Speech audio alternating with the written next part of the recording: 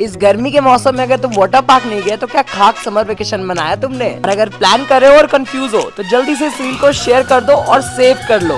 क्योंकि आज मैं आपको लेकर आया हूँ one of the best water park of India जी हाँ हमारे कोलकाता का एक्वाटिका।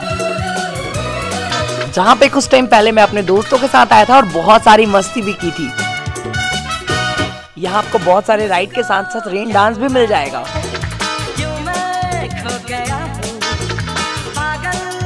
मैं पहले या अब हो गया